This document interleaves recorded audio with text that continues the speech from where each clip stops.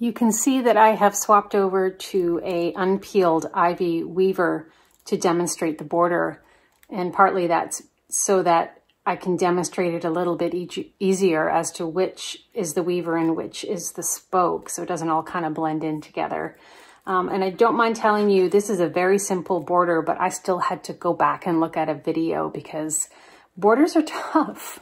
And if you mess it up, you've kind of messed up your basket. This is probably one of the simplest borders and I still have to walk myself through it every time. It's called an abrupt twined down border and I'm doing it, I'm doing the spokes to the inside. I just like the way that looks a little bit better. You could also do them to the outside.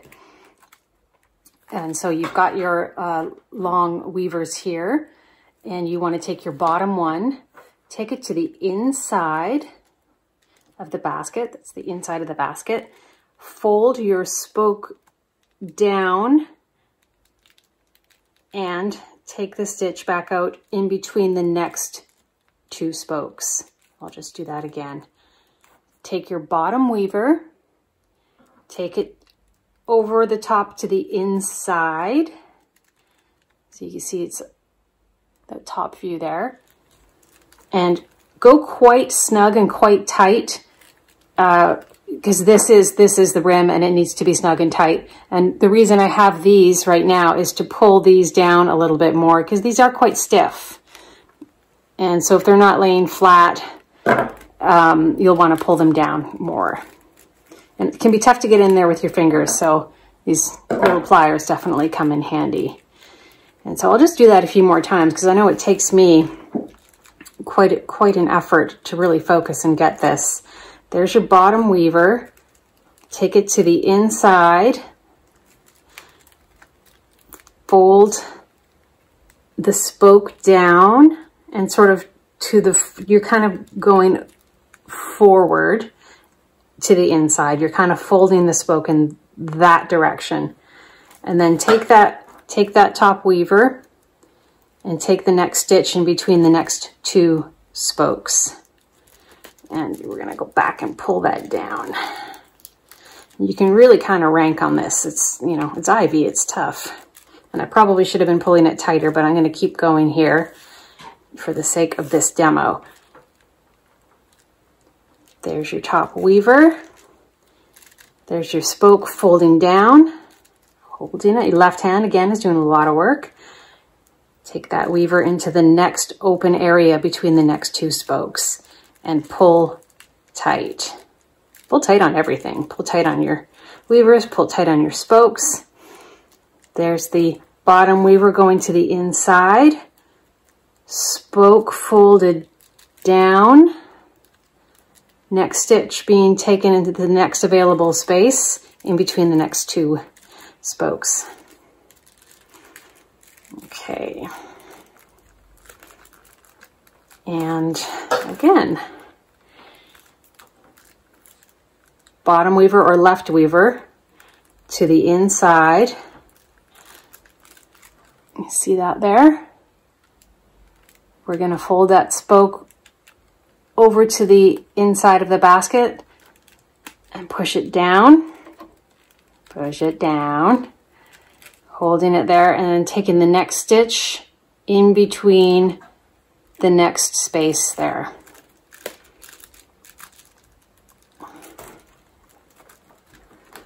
pulling so hard, I'm kind of tugging the, uh, I'm kind of tugging it all down.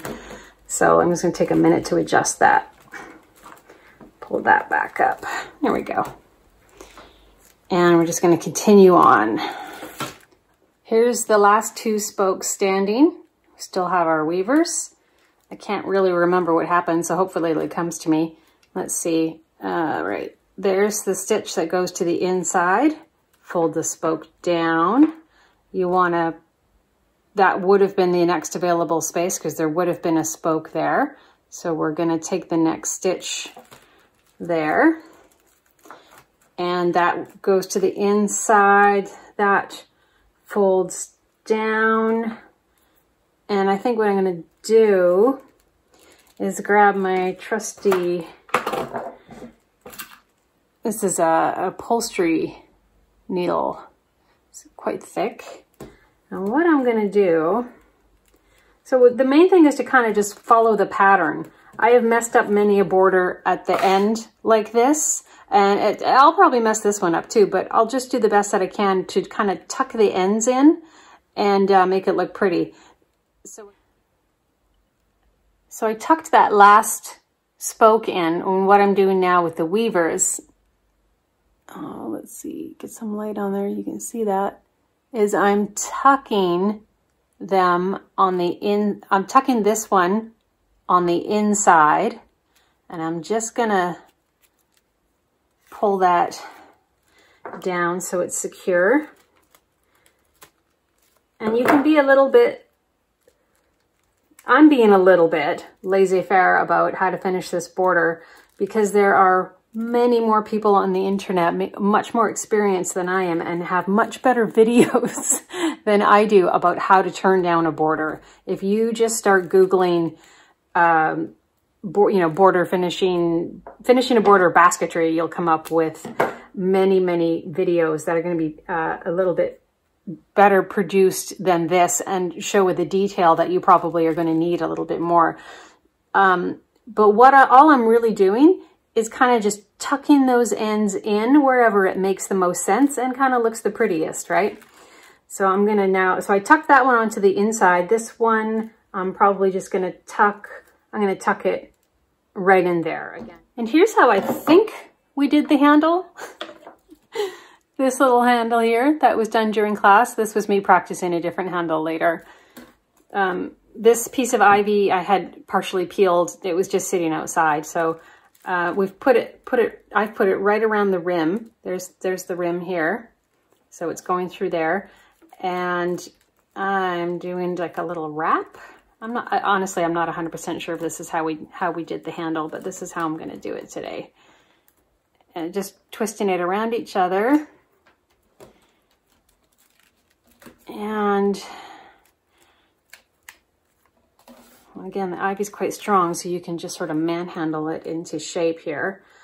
Um, the main thing is that you kind of tuck tuck the ends, weave the ends back into this rim and you won't really see them. So you can kind of, you can honestly just kind of wing it.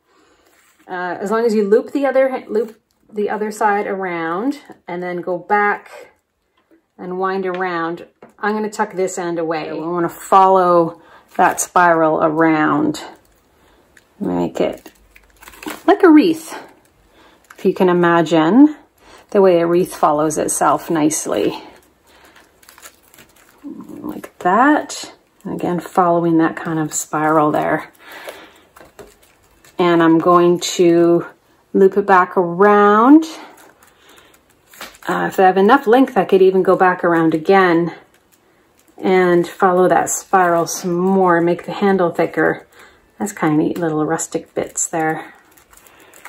And I think I will. I think I've got just enough to go around again. And yeah, so I will tuck this in here. I'll make it look a little bit more pretty. And then this, this piece, I will just weave in here with my, you may have noticed this, this is an awl, this is for willow. Um, so you don't have to have one quite this sturdy, but it's great for poking holes in um, stiff material like this. And that's, that's not bad. And so what I'll do is I'll weave that in and out just a couple times so that it's secure. And now I'm just gonna trim off these bits from before. And now is the time, if you want to do any trimming, I kind of like the rustic look. That's kind of what this piece was all about. You see these really long pieces on the inside. I'll trim those off. Just be careful because if you snip one of these spokes, you're, you're kind of hooped. And this is, because this is still damp, you can really, it's really shapeable. So if you want something that's like, oh, I wanted this more flat, like that, you can just uh, put a few clips on it and however, you know, you can dry it like that and it will dry into that shape. And that's kind of part of the magic of uh, basketry materials for me is, um, you know, it dries into the shape. that you make it. Now these spokes are looking, you know, it's it's a rustic, rough kind of a border. So once they dry, I might go in and trim them up a little bit so they're a little bit more like like that. So a little bit tidier, but I'm just gonna let them dry first because I've learned the hard way that especially when it comes to a border, uh, you'll wanna wait till things mostly dry before you go around and trim in case you wanna do any final adjusting. Um, like I'm tugging those down and see how that little guy's kind of sticking up there.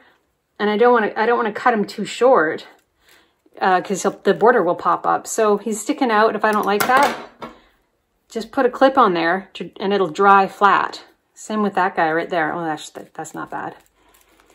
So you can do that with any weird sticky outy bits. You can, you can, if you have a larger sculptural piece, imagine this really big, put a big heavy rock on it while it's drying and it'll dry into this kind of scoopy, interesting shape like that. That's part of the beauty of this, of this um, loosey-goosey kind of a style. So hopefully this gives you some ideas. There you have it.